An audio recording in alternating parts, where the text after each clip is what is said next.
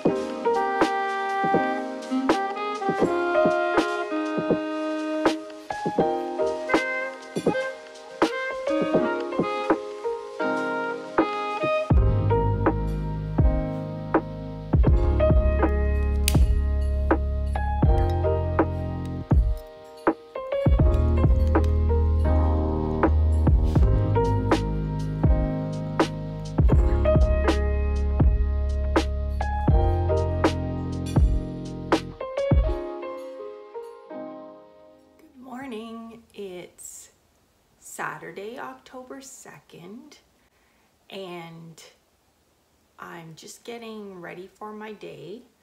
I don't have anything big planned. Um, I went to the public library yesterday and took out a couple of books because during the month of October, I always like to have either a spooky book or a mystery book um, to read throughout the month of October because it just seems like at this time of year, it's just the perfect time to read a mystery, suspense, or something a little bit spooky. Now, when I'm saying spooky, I'm not saying terrifying or scary. Um, I don't care for books that have a lot of detailed graphic violence in them. Um, recently, a lot of books that have come out have been about serial killers and the way they describe the murders in such precise detail is too much for me. So that's not my idea of uh, reading enjoyment. Anyways, I got this book. It's called The Winter People. Um, it's by Jennifer McMahon and I'll just read a little part of the back. It says, West Hall, Vermont has always been a town of strange disappearances and old legends. The most mysterious is that of Sarah Harrison Shea, who in 1908 was found dead in the field behind her house just months after the tragic death of her daughter Gertie. Um, now in present day, 19-year-old Ruthie lives in Sarah's farmhouse with her mother and I won't keep um, reading, but it starts talking about um, Ruthie finding a copy of Sarah Harrison Shea's diary in the floorboards of her mother's bedroom, and she gets sucked deeper into the mystery of Sarah's fate. So, and she has to stop history from repeating itself. So that to me sounds like a really interesting sort of spooky kind of read for the month of October. So I did get that from my library. I love the library. big fan of libraries in general. And then I also got this book uh, by Tana French called The Searcher. I've been reading all of her um, suspense mysteries in order and this is the next one. I'm actually kind of spacing them out because I really enjoy reading them so much that I don't want the series to end without me having anything further to read. So I, I usually read one book and then I uh, will read other books and then come back to the series and um, read another one. And I've been doing the same thing with uh, the Louise Penny Inspector Gamache books. I love them so much. If you want to read cozy mystery um, for the month of October, I highly recommend that series, the Inspector Gamache series. Um, I've read maybe seven or eight of the books and there's still quite a few more to read. Um, but again, that's another one that I'm trying to space out because I really don't want it to end. So the other thing that I like to do in the month of October, well, I kind of oscillate between wanting something cozy and wanting something spooky because to me, October is that month of coziness, but it's also a month of spookiness. So I kind of go back and forth between the two. Um, so I, I made a list. I went online and made a list of spooky or scary movies um, to watch during the month of October.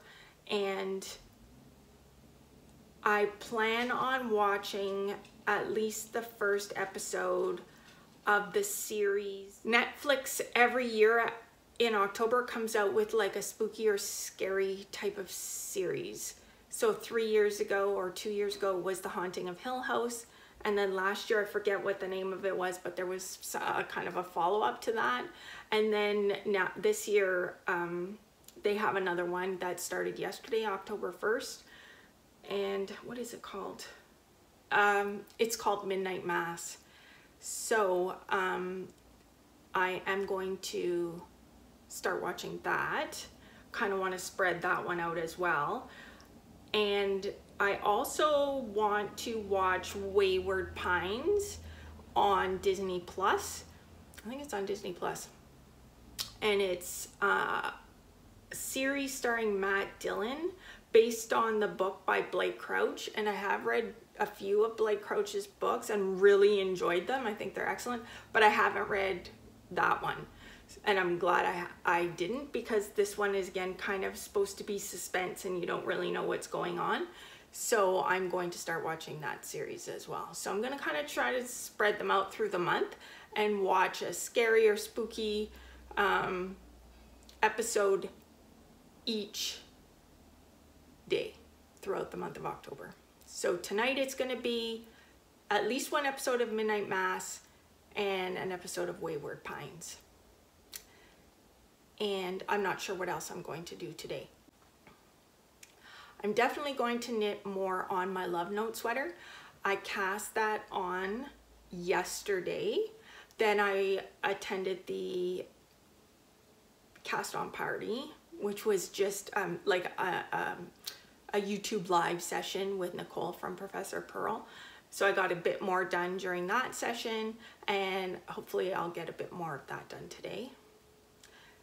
And other than that, I don't have a ton of things planned, which is kind of the way I like to roll. I don't always like to have my weekends all planned out, but we'll see, we'll see what happens.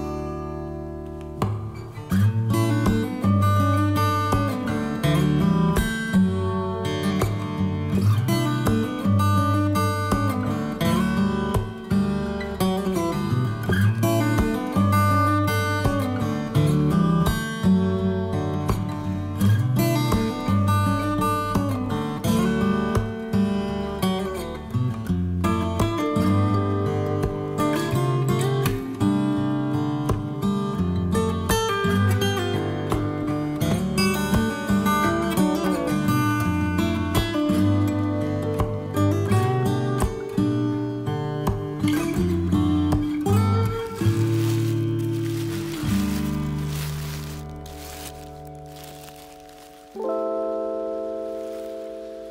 you.